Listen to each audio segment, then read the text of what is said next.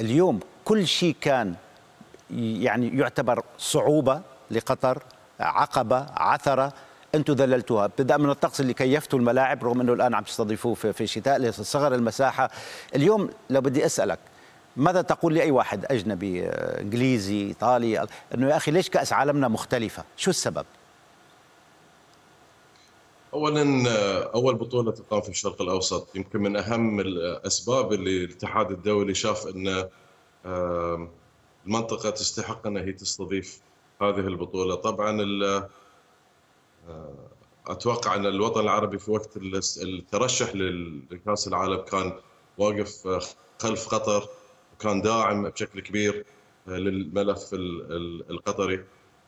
فيمكن من أهم الأسباب هذه على ناحية سياسية أو على ناحية أن الفيفا حبت أن هي تأخذ الكأس العالم وكرة القدم إلى مناطق جديدة مثل ما اخذتها إلى آسيا أول مرة في 2002 واخذتها إلى أفريقيا في 2010 لكن إذا إحنا نبغى نشوفها ونقيسها من مستوى أو من وجهة نظر الجمهور أو وجهة نظر اللعيبة اللي راح يكونوا متواجدين أو الإعلام هي أول بطولة ما لازم يسافرون فيها من مدينة لمدينة، إحنا تعودنا في كأس العالم نضطر إن إحنا نركب طيارة نسافر من مدينة إلى مدينة أخرى نحضر مباريات هناك، إحنا كنا نروح فرق عمل نشتغل في هذه البطولات، كنا نروح في برامج رصد. كانت متعبة الشغله، تدخل أوتيل جديد تركب الطيارة تسافر مرة أخرى، يعني هذا إحنا ما راح نشوفه في في مونديال قطر. الشخص المشجع راح يقعد في سكن واحد وراح يقعد في هذا السكن إلين ما هو يقرر إنه يسافر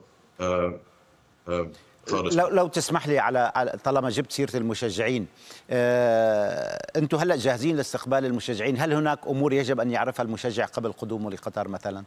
هل المشجعين اللي ما بيقدروا يسكنوا بفنادق خمس نجوم وين ممكن يسكنوا؟ طبعا في فنادق لجميع من جميع الفئات وهذه الفنادق متواجدة بشكل كبير في قطر. طبعا عندنا أيضا إحنا الحلول السكنية الأخرى اللي هي الشقق الشقق الفندقية الشقق العادية. طبعا في حلول كثيرة موجودة للجمهور وطبعا في أيضا الفنادق اللي إحنا نسميها ال floating hotels أو ال cruise ships اللي راح تكون موجودة على المينا موجودة في الدوحة هنا فيها 4000 غرفة فالحلول كلها موجودة للجمهور اللي راح يجي على حسب هو الميزانية اللي عنده اللي هو راصدها حق هذه السفرة فما راح يكون في أي إشكالية للجمهور. قديش تتوقعوا عدد الناس اللي ممكن تيجي أخي ناصر؟ يعني التوقع هو بين المليون و200 ألف إلى مليون وخمسمائة ألف خلال فترة البطولة خلال فترة يعني خلال خلال شهر حيجيكم مليون ونص زائر.